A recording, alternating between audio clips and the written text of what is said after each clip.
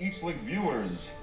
Hope this is a merry season for you and your family, and we wish you the best of the Christmas voices.